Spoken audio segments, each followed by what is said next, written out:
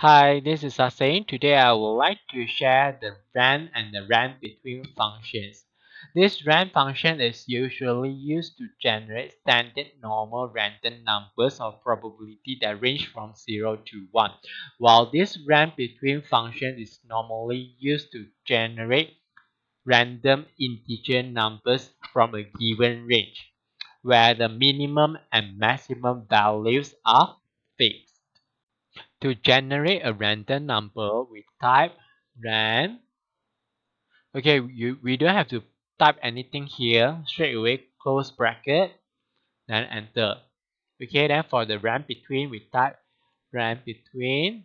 Okay, then you can see a bottom here and a top here. Bottom will be the minimum value and top will be the maximum value. If let's say I want to generate numbers that range from 5 to 10, then I will type 5 as my bottom value, then 10 as my top value. Okay, before I press enter, please observe this value. Okay, if I press enter, this value will change as well. This is because Excel will automatically update all the calculations for us. Okay, if let's say I type something here then enter, everything will change as well. Will keep changing Okay, to stop this, we go to formulas, then we choose calculation options. Okay, then we change to manual.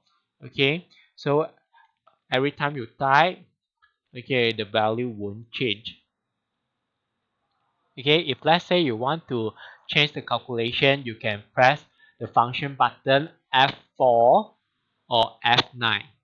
Okay, F4, F9 okay? And you can observe that the rand between function is in integer form okay? Regardless I press how many times of F9 or F4 okay? Always in integer form okay? If let's say I want to generate a numbers or a decimal number that range from 5 to 10 then we have to make use of the rand function. The rand function. Okay with the format a plus b times rand okay? This a is the minimum value.